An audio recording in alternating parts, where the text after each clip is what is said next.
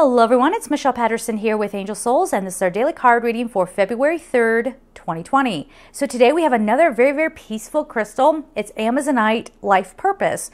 So, this is where we're easing into an understanding and hopefully breaking away from that old way of looking at our life's path and purpose as my purpose is to be some you know, put a label on some sort of healer or put a label on some sort of messenger. Um, I'm, I'm now hearing people not too many, but a lot of people wanting to label themselves again with the star seed labels and stuff like that. And that can be important, don't get me wrong, but remember, we're all still in this together. So even if we all decided to go to, I, I think of it as like a summer camp, right? Where you go in, there are kids from every kind of life you can imagine, but they're all there for the summer and they're all there to learn from one another. Maybe we come in and we see each other as enemies because we're different, but then by the end of the summer, hopefully we'll all be besties, right?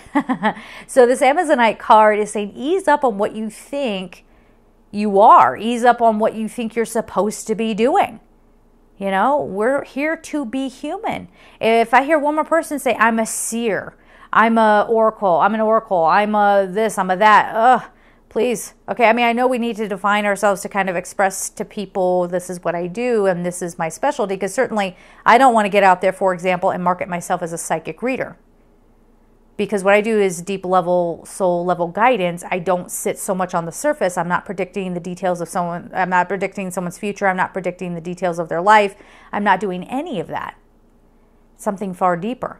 So, not that the surface level readings are bad; those can be very beneficial too if you go to the right person. but what I'm saying is, is like if you know, in some way, a label helps, but we put too much emphasis on the label to the point where we can get off of our life's path and purpose because we can't figure out what to call ourselves.